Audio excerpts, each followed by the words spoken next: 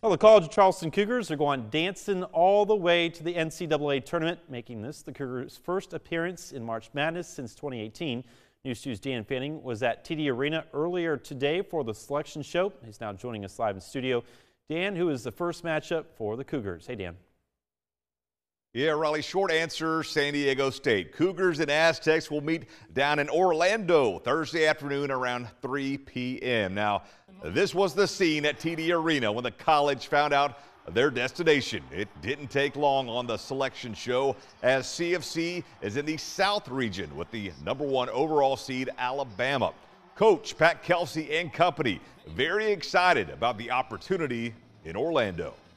We're going to treat this like every other preparation.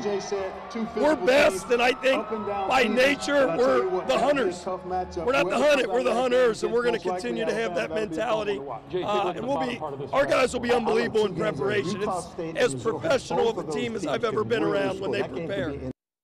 And more on the Cougs and the rest of Selection Sunday coming up in sports. For now, live in studio, Dan Fanning, News 2 Sports.